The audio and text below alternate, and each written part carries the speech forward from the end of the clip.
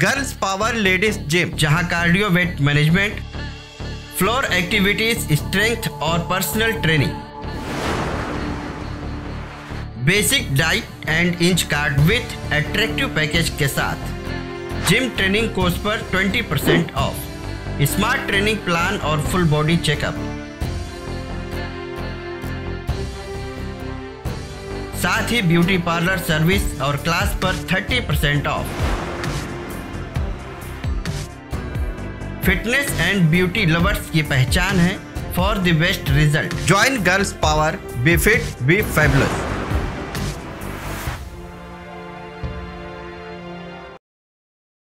मैं इस्लामुद्दीन खान और आप देख रहे हैं प्रहार सीएनजी भरवाने के दौरान विवाद हो गया और मुस्लिम लड़के के साथ जमकर मारपीट की गई और उसे अपशब्द भी कहा गया। बताया जा रहा है कि पेट्रोल पंप पर लाइन में सीएनजी भरवाने के लिए लोग खड़े थे, मगर तभी एक कार वाला लाइन तोड़कर सीएनजी भरवाने लगता है और इसी वजह से लाइन में खड़े लोग विरोध करने लगे।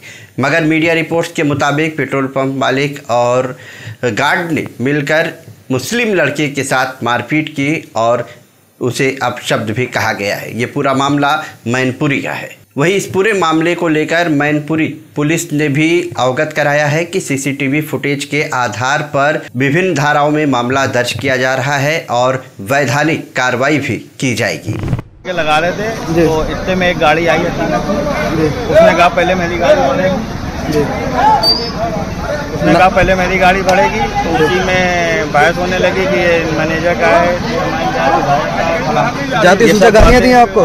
जाति सूचक कटुआ बोला? हाँ ये सब उल्टी सीधी बातें कही गई। और हम लोग ने बोला कि नहीं लाइन से गाड़ी भरी जाएगी और बगैर लाइन की गाड़ी नहीं।